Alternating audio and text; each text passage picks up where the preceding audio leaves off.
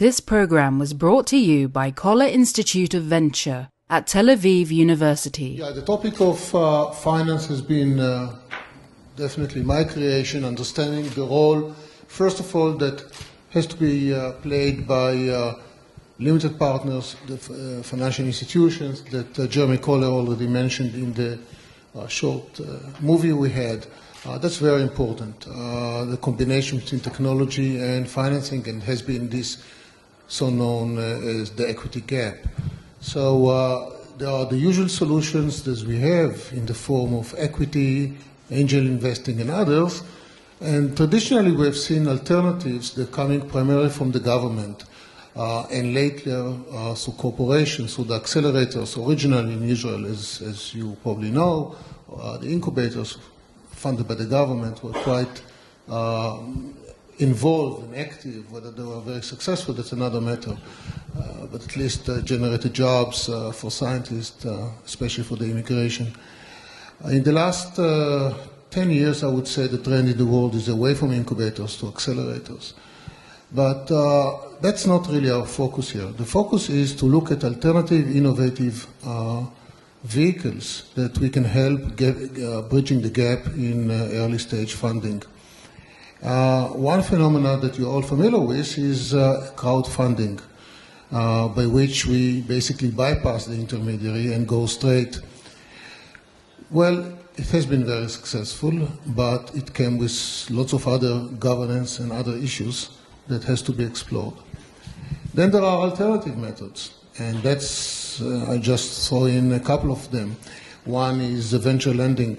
Uh, on, the, on, the, on the surface, doesn't make any sense to have. Uh, why would you want to give a loan to a business where you barely want to invest equity in. You know, it's, it's, it's the chances to go uh, south uh, is very, very high. And uh, nevertheless, it's a quite interesting model if, if done right. And uh, there are other alternatives. In fact, even to the deep innovation areas.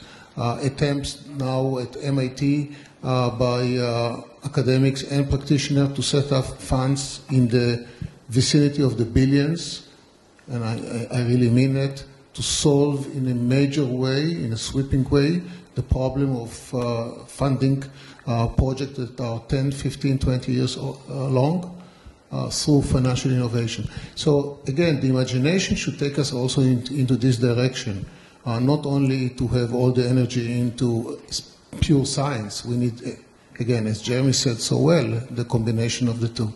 And that's going to be the next theme uh, after the university venture.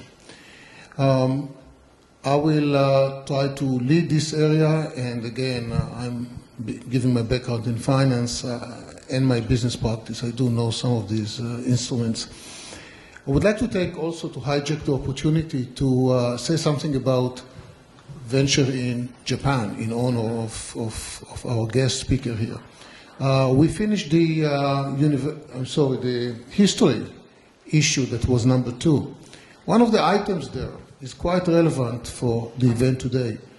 Now, I, I had an idea, I wasn't sure, that venture outside the US and to some extent Europe, not a lot, uh, was actually in, uh, first applied in Japan. Definitely before any other place in, in, in uh, Asia. Uh, here who knows that, probably not know to you. Uh, Japan for us, for most of us, is really associated with the large industrial consumption goods, whether this is automotive, basically, you know, swallowing uh, and taking over from the US some 20 or 30, 40 years ago. Uh, we saw that in uh, cameras, uh, we saw that in uh, television and uh, entertainment, Sony, Nintendo, and so on. This is well known. The banks are also, to some extent, quite well known. What is less known is the, the very early attempts. And the first attempt, and that's actually what's going to feature in my forthcoming book on, on, on the history of venture, uh, very prominently, was 1963, where the public funds created what they tried to emulate is the US uh, investment uh, you know, U.S. small business administration type of activities help to small businesses.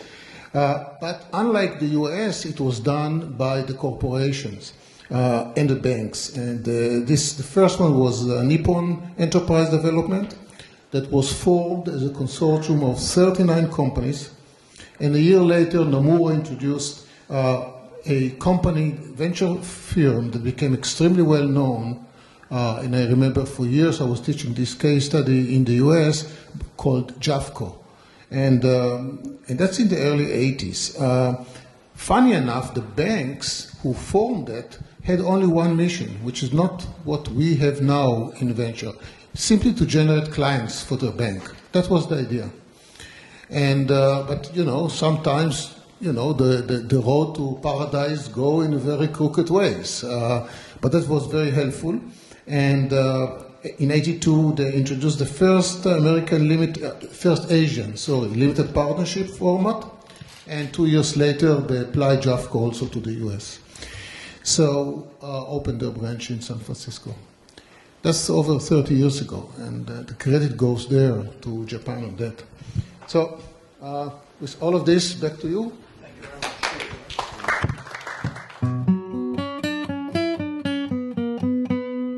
This program was brought to you by Coller Institute of Venture at Tel Aviv University.